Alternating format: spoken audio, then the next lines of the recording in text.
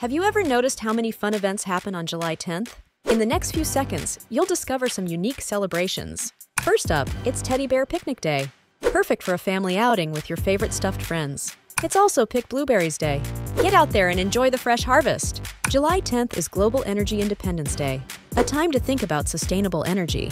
National Kitten Day is here too. Who doesn't love adorable kittens? Conwy River Festival kicks off with exciting water events. Feeling tropical? It's National Pina Colada Day. Lastly, don't forget about Don't Step on a Bee Day. Remember, bees are vital for our ecosystem. Like what you see? Subscribe for more exciting content. Hit the like button if you found this useful.